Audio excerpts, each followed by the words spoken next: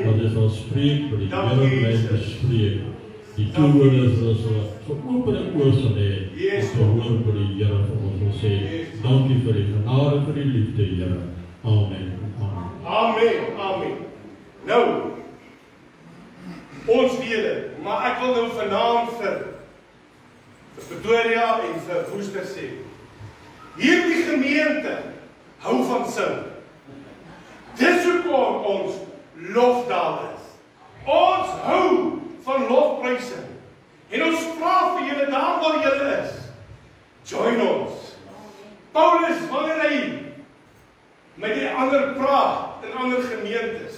Dan sê hy ek wens ek kan by julle wees, maar in die gees is ek saam met julle. In die gees is ons vanaand verbind. Halleluja. Steek my aan die brand. O, oh, steek ons aan die brand, Here. Steek ons aan die brand. Halleluja!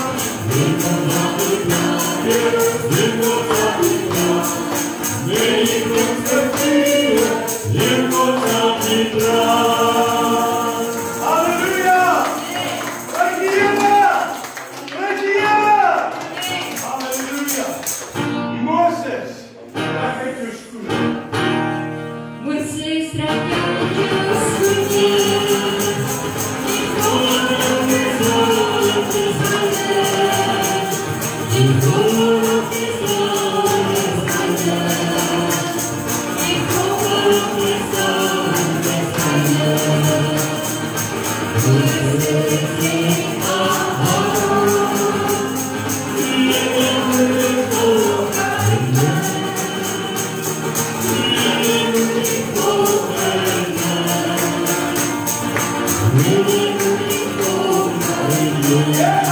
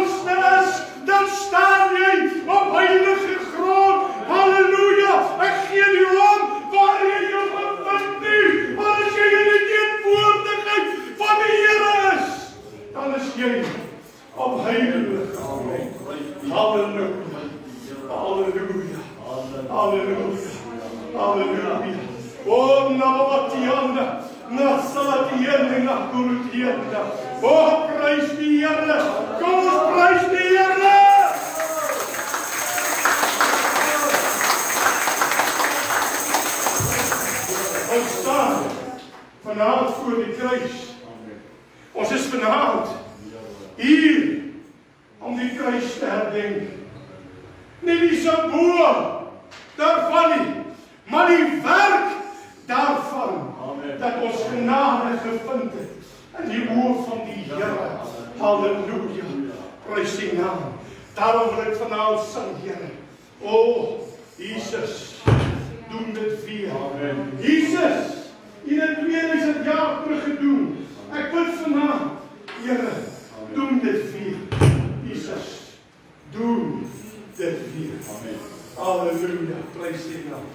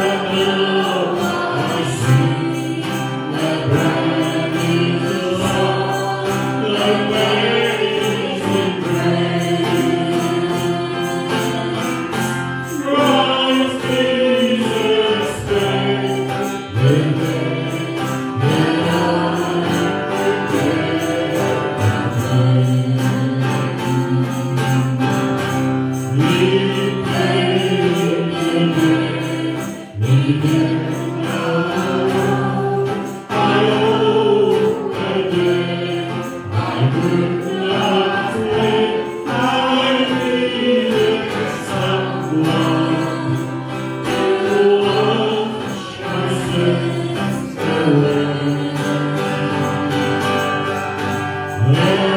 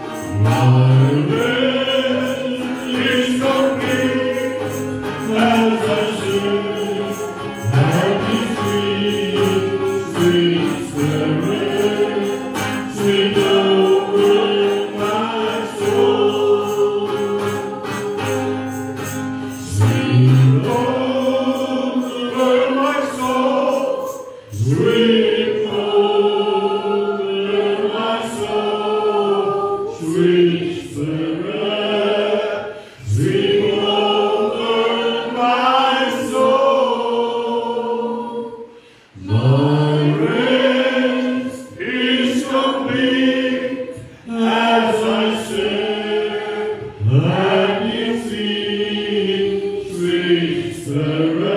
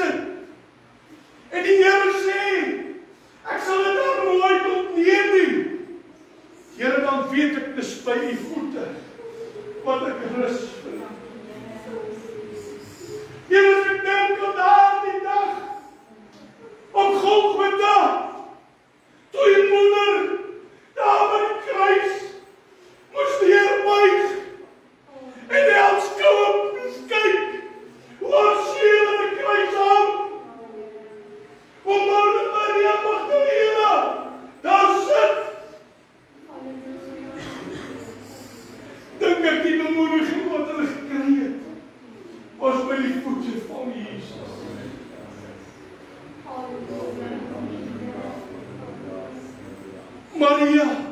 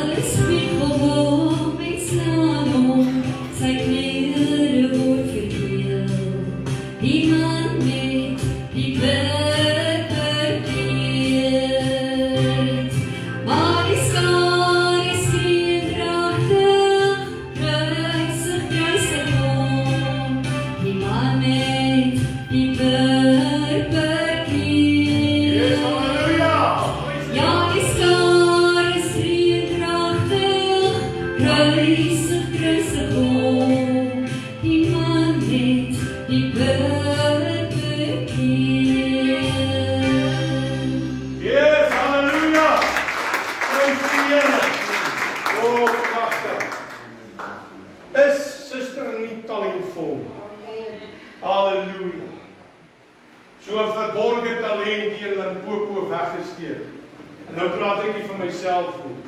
Ek praat vir my suster. Halleluja. Prys sy wonderbare naam.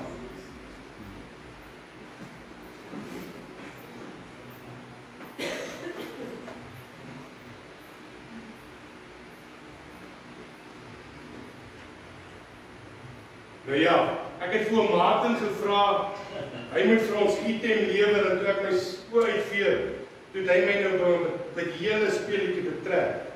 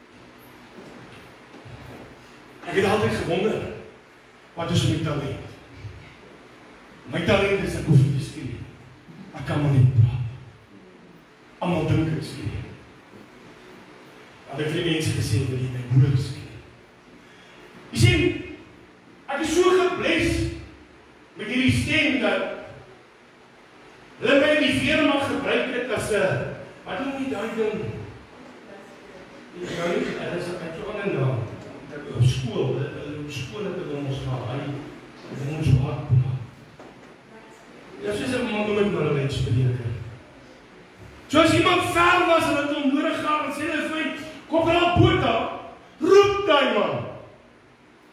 En dit maak nie saak waar hy in eenheid was nie, hy het gehoor.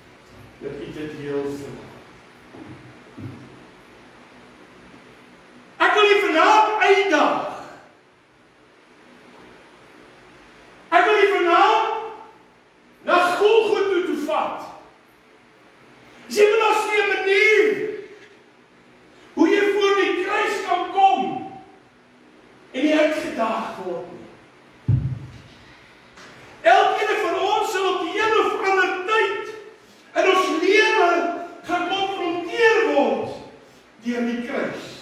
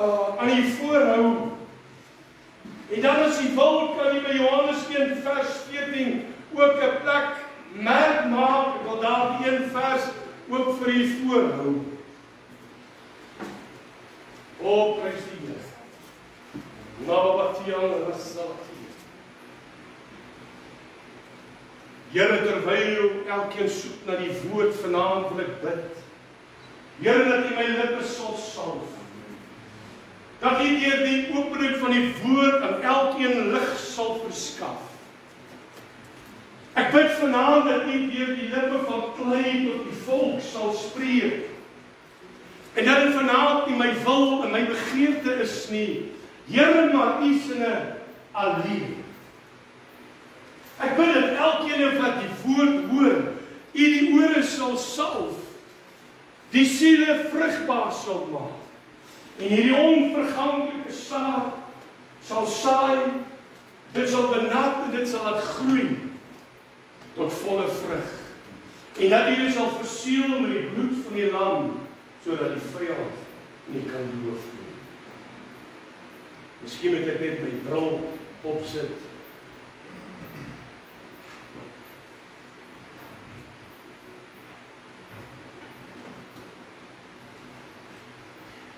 Luister, nee, okay, daar in die boek.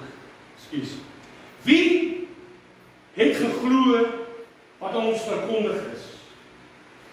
En aan wie is die arm van die Here geopenbaar? Hy tog het soos jammer die windjie hierse baie hier bo my.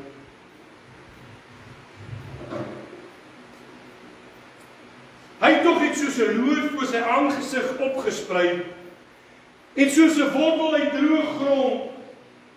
Hy het geen gestalte of heerlikheid gehad dat ons hom sou aansien.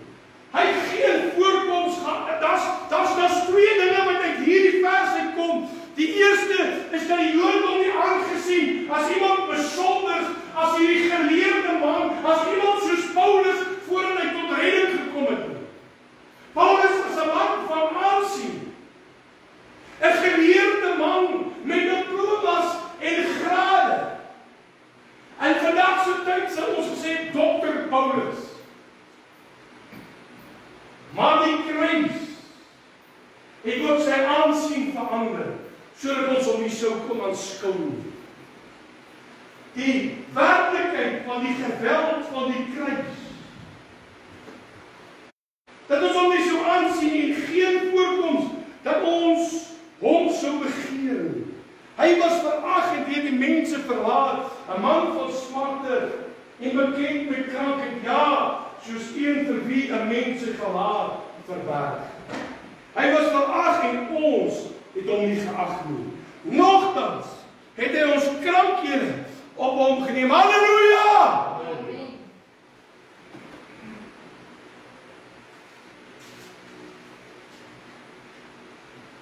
En ons smarte het hy gedra. Maar ons het hom gehou vir een wat geplaag, deur God geslaan en verdruk was. Maar hy is terwille van ons oortredinge deurboor. Terwille van ons ongeregtigheid is hy verbrysel. Die straf wat vir ons die vrede aanbring, was op hom en deur sy wonde is daar vir ons genesing gekom. Halleluja! Ons almal het gedwaal so skape. Ons het elkeen sy eie pad geloop. Maar die Here het die ongeregtigheid van ons almal op hom laat neerkom. O, Christus. Hy is mishandel. Hoewel hy ons onderworpe was en hy het sy mond nie oopgemaak nie soos 'n lam wat by die slagplek gelei word en soos 'n skaap wat stom is voor sy speurders. Ja, hy het sy mond nie oopgemaak nie. Uit die druk en uit die straatrig is hy weggeneem en onder sy tydgenote. Wie het daaroor gedink dat hy afgesny is uit die land van die lewens? Terwille van die oortreding van my volk was die plaag op hom. En hulle het hom sy graf by die goddelose gegee. En by 'n ryke was hy in sy dood omdat hy geen onreg gedoen het nie. Nie een nie, nie een geen bedrog in sy mond gewees het nie. Maar dit het die Here behaag om hom te verbrysel. Hy het hom krank gemaak. As sy siel 'n skuldoffer aangebied, sal hy 'n natroos sien. Hy sal die dae verleng en die welbehaag van die Here sal deur sy hand voorspoedig wees. Weens die moeitevolle lyde van sy siel sal hy dit nie sien, sal hy dit sien en versadig word.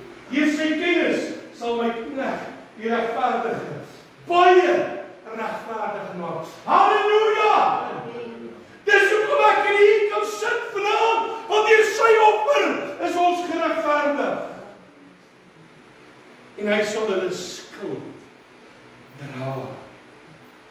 Daarom sal ek hom 'n deel gee onder die grootes en die magtiges sal hy byt verdeel omdat hy sy siel uitgestort het in die dood en saam met die oortreders getel was terwyl hy tog die sonde van baie gedra en vir die oortreders gebid het. Ek vir jou gebid Hy het vir jou gebid. Kan ons 'n haleluja daarop sê nie? Hy vir jou gebid. Johannes 1 vers 14. En die woord het vlees geword en het onder ons gewoon. En ons het sy heerlikheid aanskou. 'n Heerlikheid soos van die enige gebore wat van die Vader kom, vol van genade en waarheid. Tot sover die woord van die Here. Ons het onlangs op Dinsdae aande begin met 'n Bybelstudie groep. En in die eerste aand het ons bevind dat Jesus Christus elke profesie wat daaroor gemaak is tot in die fynste detail volbring het. Dat ons bo alle twyfel kan weet dat Jesus van Nasaret die Christus is. Dat hy die Messias is wat beloof is. En omdat Christus bo alle twyfel geplaas word, kan ons elke woord glo wat uit sy woord uitkom. Hierdie is die absolute waarheid. En wanneer die hoofman uitroep, die seun, dan sê hy spesifiek, hy praat van die seun, hy praat nie van 'n seun nie. En wanneer hy praat van die seun, dan verklaar hy die egtheid en die posisie van Jesus Christus as die seun van die Allerhoogste. Hy erken om te sê daar was nog nooit en daar sal nooit iemand wees soos Jesus Christus nie. Hy is die waaragtige, hy is die eersgeborene van God die Vader. Hy is die naam bo alle name en hy is die koning van die konings. Wanneer ek Jesaja 53 lees,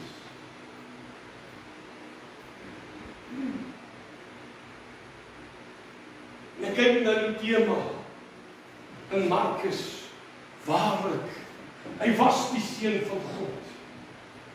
Dan kan ek my nie self indink dat daar enigsins ergens in die Bybel 'n meer grafiese voorstelling van die kruis is as jy hier in Jesaja 53 die van die volle geweld van die kruis word vir ons voorgebring en word vir ons aangewys hier op die kruis hier in Jesaja 53.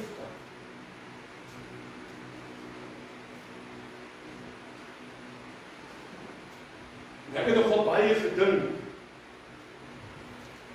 oor hierdie hoofman.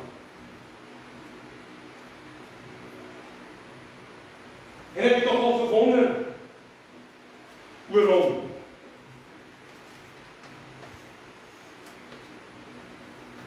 Ek het gewonder was hy daar in Johannes 18 vers 56 in die tuin van Getsemane toe die kom Romeinse soldate en die tempelwag daar aankom om Jesus te arresteer. En een van die soldate uitroep en vra: "Is jy Jesus van Nasaret?" En hy antwoord: "Ek ek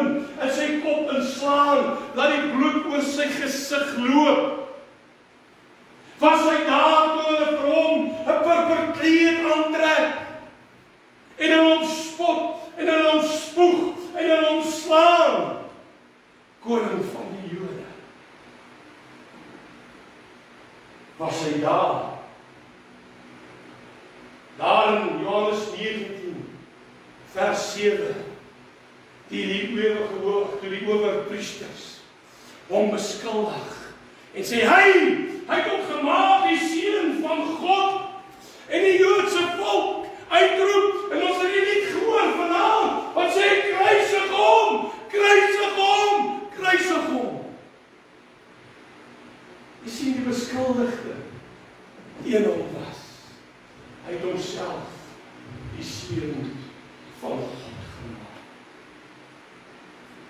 Was hy daar in Johannes 19 vers 1. Toe Jesus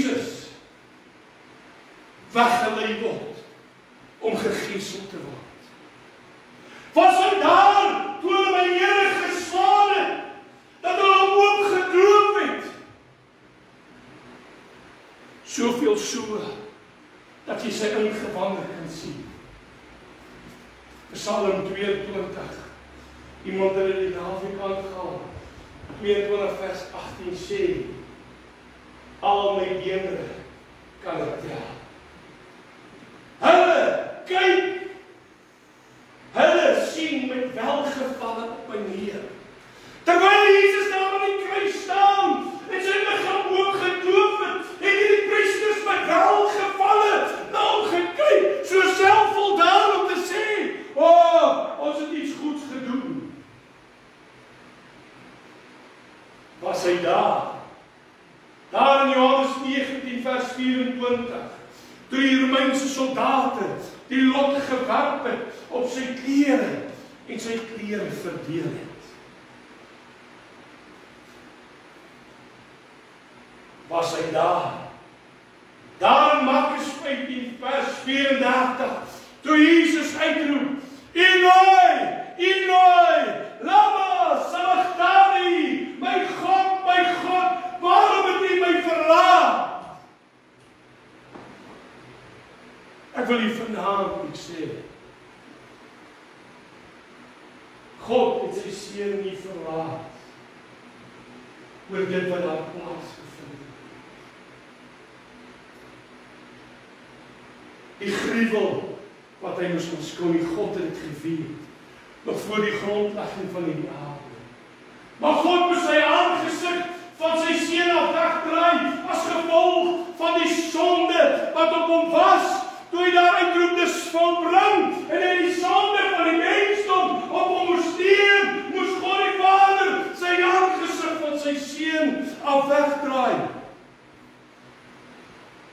En vir die eerste keer in die ewigheid is Vader en Seun van mekaar geskei.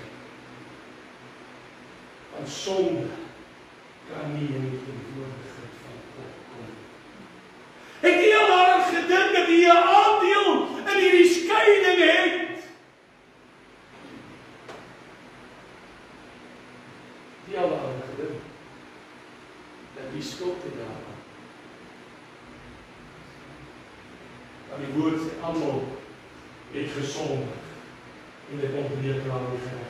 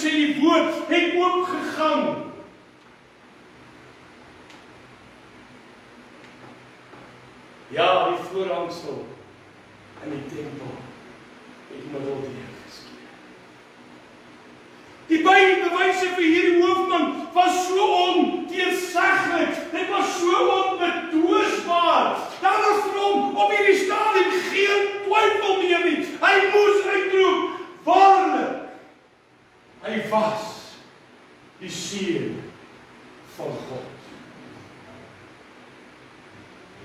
Nou kind van die Here. Vir my en u is die voorhangsel geskeur. Deur die bloed van die lam het ons die voorreg om in die allerheiligste in te gaan. Ons het die voorreg om in die troonsale van die Vader te kan inbeweeg. Ons deur die offer van Jesus Christus is meer erfgenaam. Maar die wêreld Die wêreld wil Jesus nie ken nie. Die wêreld het sy rug op Jesus gedraai. Maar daar is 'n skrif in Filippense 2 wat sê elke knie sal voor hom buig en elke tong sal bely dat hy die Here is.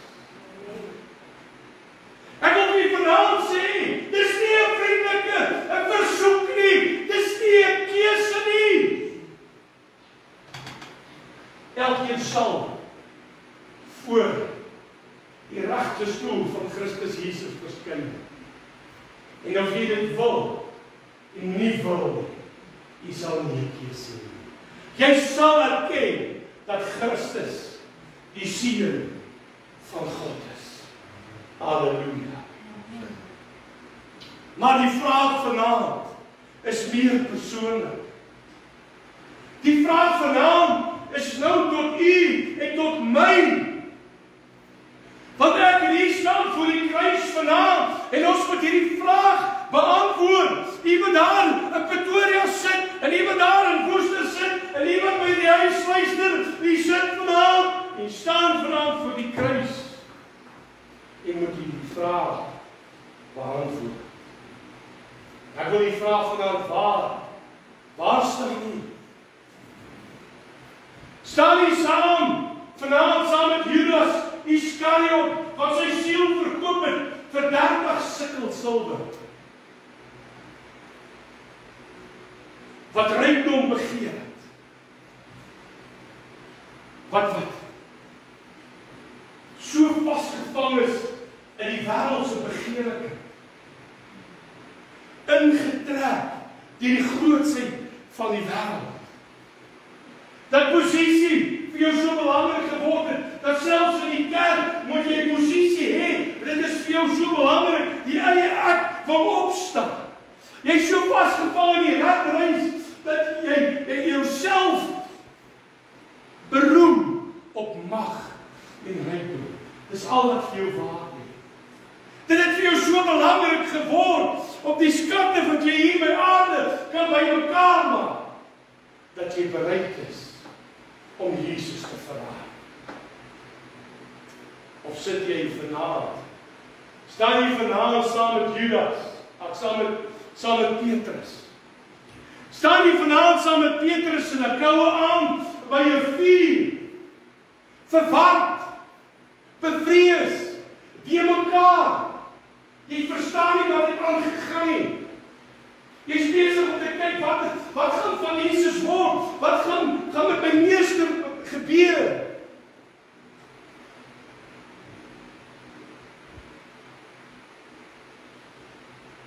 En my Petrus daar by die vuur staan tussen die wêreld verloor vir Jesus.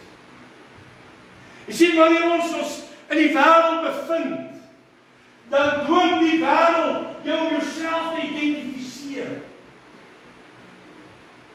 Die wêreld het 'n manier om om jou te dwing om standpunt in te neem. Jy sien in die wêreld waar ek staan, 'n wêreld wat sy rug op Christus gedraai het, 'n wêreld wat wat niks met Jesus uit die Bybel hê nie.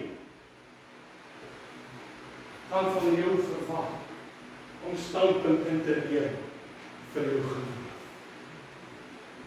Jy sien broer en suster, dit is baie maklik om in die kerk uit te roep haleluja, maar daar buite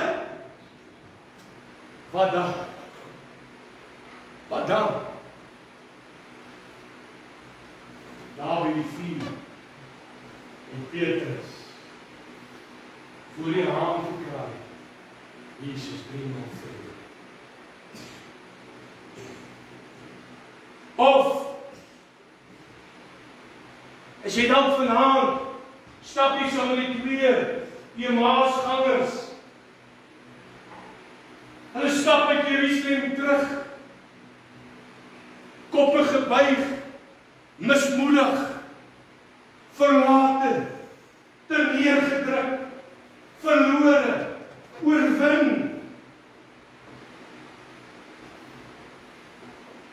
Want dit het nie uitgewerk soos wat ek gedink het nie. Nee, dit het nie uitgewerk soos ek gehoop het nie.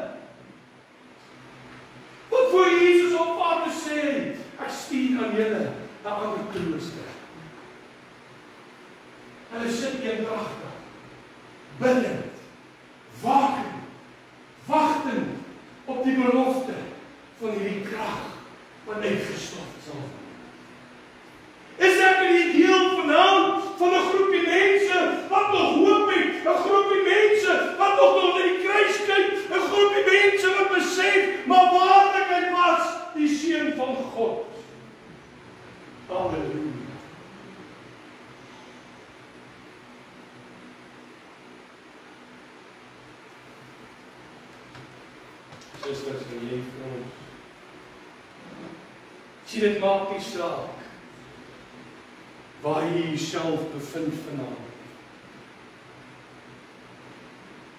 Dit maak nie saak waar ek is nie.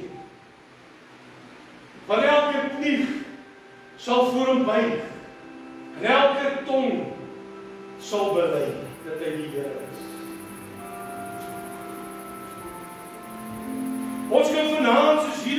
Iskariot wees. Ons kan vanaand soos Petrus wees in daardie aand. Ons kan vanaand wees soos die Emmausgangers. En ons kan wees soos daardie groepie in die boom vertrek in Jerusalem. Elkeen van ons sal voor die regte stoel van Jesus staan. Die verskil is vanaand is dat ek en u die voorreg om vrywilliglik voor hom te buig. Ek en u vanaand die voorreg om vrywilliglik uit te roep en te erken dat hy is die seun van die Allerhoogste.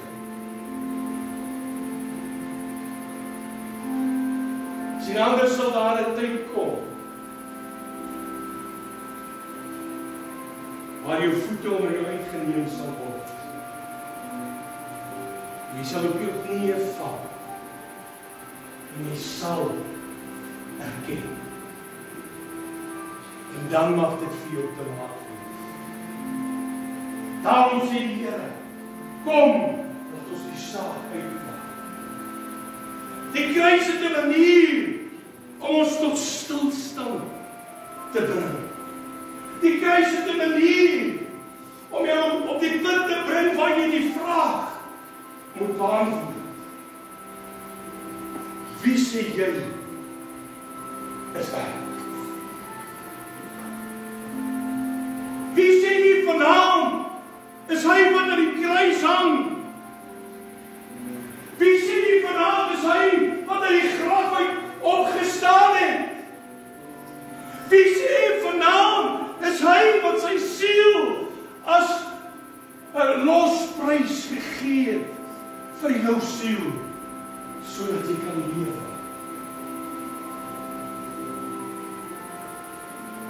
Kan jy vanaand staan en 'n keuse maak en uitroep en sê waarlik hy was die seun van God.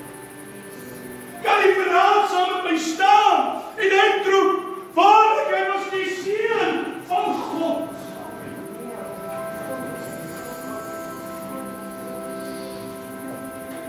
Miskien bevind jy vanaand op 'n plek soos waar Judas hom bevind het. En nadat Judas besef het wat hy gedoen het, het hy teruggegaan na die priesters en die tempel en hy vir hulle het homself gaan ophang. U hoef nie self meer op te hang vanaand nie. Jesus het aan die kruis vir jou gehang. Hy het die prys vir jou betaal. Dalk is jy vanaand saam met Petrus. Dalk dalk vind jy dit maklik om in die kerk uit te roep haleluja, maar daar by die werk vind jy dit moeilik. En staan jy dalk skuldig vanaand dat jy jou Here verloor het. Weet, hy het aan die kruis vir jou gesterf. Miskien is jy vanaand hier maasganger en het jy moed verloor. Miskien staan jy vanaand in die middel van 'n storm en dit het nie vir jou uitgewerk nie. En jy wonder, Here, waar is U nou? Here, is U nog gewerk te kyk? Wie is? Hy het aan die kruis vir jou gesterf. Hy het die volle prys vir jou betaal.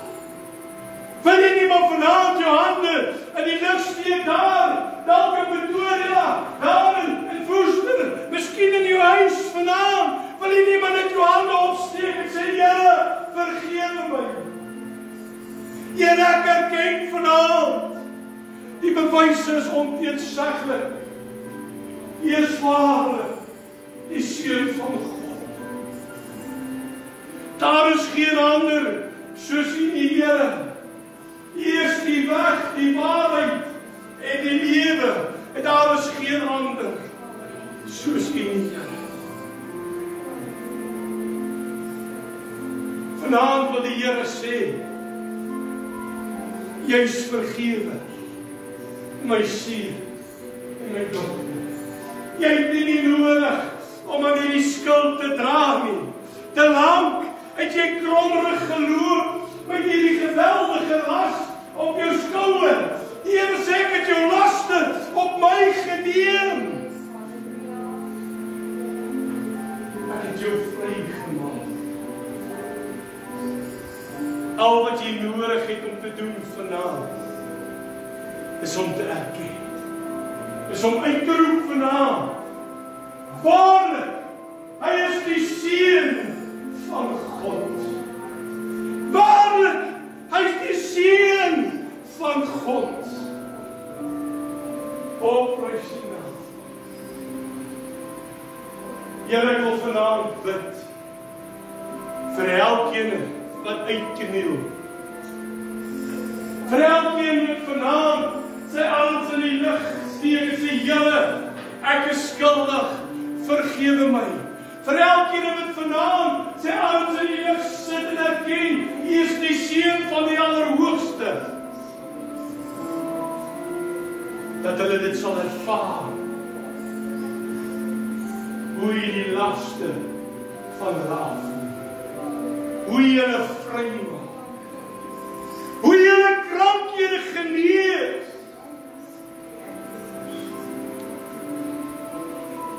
En die naam van Jesus Die koning genees. Nou wat jy aan en sal dit een en dan dit een. En die naam van Jesus Christus spreek ek elke krankheid aan. Tot genesing in die naam van Jesus Christus. O, nou wat jy aan en sal dit een. Jy mag vanaand vry. Iemand vanaand vry. Hierdie hele naweek julle.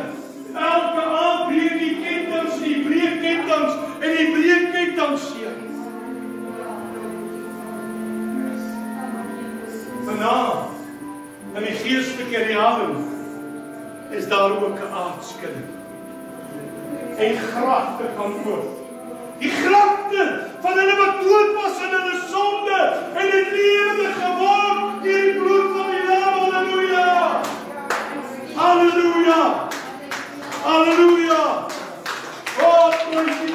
Here. Prys die naam van die Here. Oh, dankie. Dankie Here dat U vanaand in ons midde was. Vader, ek bid dat U na predike van hierdie woord sal wees en dat U dit sal ons opnuut na die kruis sal kyk as ons baken van hoop. As die bewys van die transaksie op my siel wat volbring en volkome betaal is. Dat ek vry is in Christus Jesus.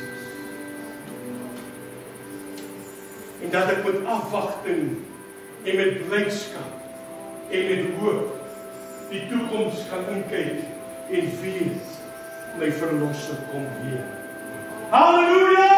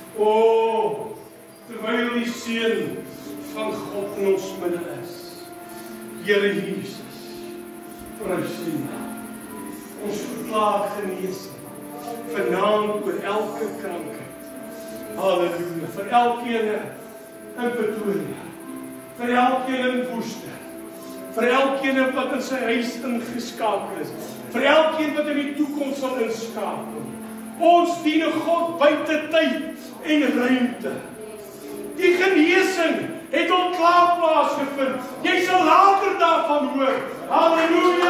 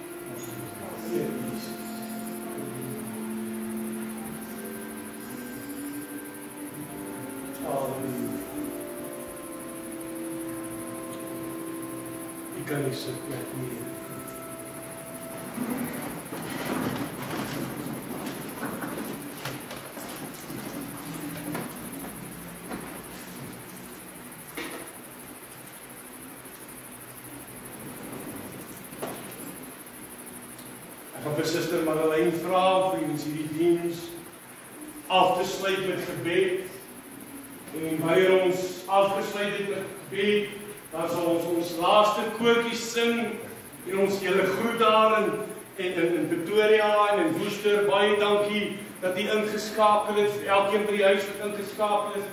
Baie dankie elkeen van julle wat hier was en mag die Here u seën en mag sy genade u toevlou toevou en mag hy u bewaar onder die bloed van die lam. Suster Madeleine sluit vir ons af. Dan wanneer ons sing hier is die mandjie voor soos die Here u lei hoop daar waar u is dat u ook die offer na die huis van die Here toe sal bring. Dankie suster. Kom ons staan en sluit oë haleluja, Here. Wat kan ons sê, Vader? Waarlik, waarlik, U is die seun. Amen. Here, U is se triomferend vanaand, Here. U regeer vanaand, Abba Vader. Here, daar is niemand soos U nie, Abba Vader. Yes, Lord. Ons loof en prys U, Here. Yes, Jesus. Dankie,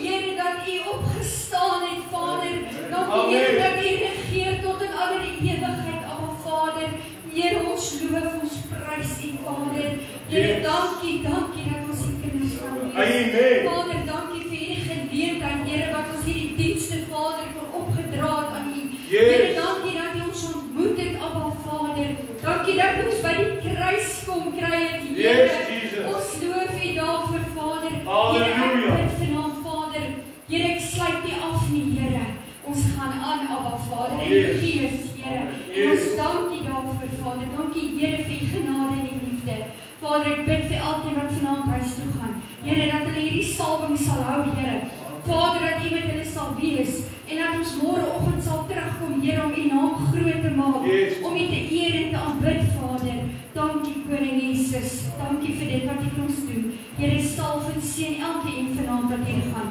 Elke behoefte vanaand, Here, dat dit by U bekend sal wees vanaand, Here. En ons eer U daarvoor in Jesus se naam. Amen. Amen. Halleluja. Ek wil vir ons sing, wil ons sê vir pastoor Ernst van Rooyen wat ons hom seën toebid en die salwing van die Heilige Gees en die krag van ons Here Jesus Christus wat ons môreoggend 10:00 gaan bedien vanuit Pretoria. Ehm ek nooi elkeen van julle uit om môreoggend 10:00 hier te wees en saam met ons saam met Pretoria en Woester dan ook die diens te geniet onder die leiding van van Ernst van Rooyen. Amen. Ernst die Here seën. u. Halleluja. Vader, stuur